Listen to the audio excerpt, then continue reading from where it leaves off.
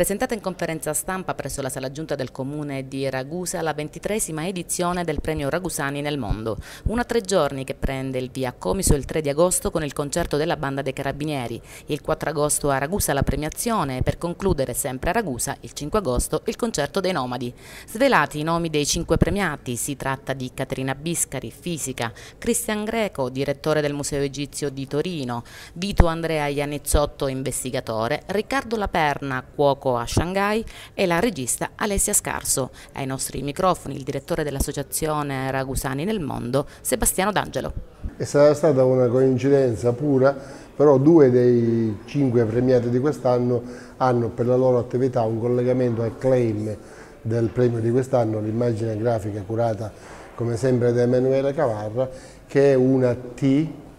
nel, stampata su una moneta antica T che sta come talento, appunto moneta antica, ma T che sta anche come manifestazione del genio umano, cioè il talento umano. In questo caso, con un pizzico di retorica, l'abbiamo trasfigurato in capo agli Iblei e infatti il talento ibleo che fa spettacolo e sarà anche un'edizione piena di spettacolo con eh, la presenza della banda dei Carabinieri che terrà due concerti, il giorno 3 a Comiso e il giorno 4 a chiusura della serata della cerimonia di consegna dei premi in Piazza Libertà, ma poi ci sarà una grandissima e attesissima appendice che è quella del concerto dei Nomadi. Ma tornando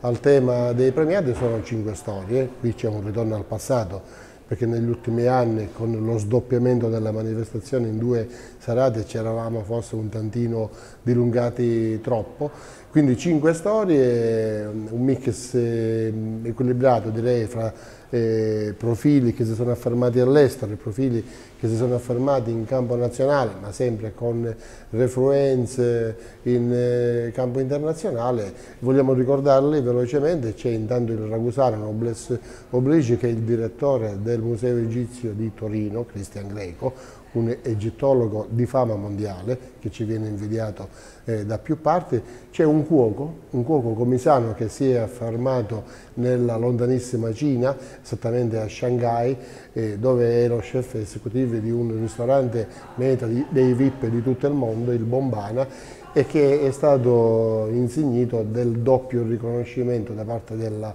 eh, Michelin, quindi doppia stella eh, Michelin, una cosa che realmente fa onore al territorio ibleo. C'è una eh, dottoressa accademica fisica affermata in campo europeo, è Caterina Biscari, lei è di Modica. C'è un carabiniere in congedo, appunto tornando al tema dei beni culturali, eh, che a capo del nucleo operativo dei carabinieri per la tutela del patrimonio culturale ha coordinato le operazioni per il rinvenimento della Venera di Morgantina. Ecco quanti eh, tesori portiamo alla conoscenza della pubblica opinione, tesori professionali umani.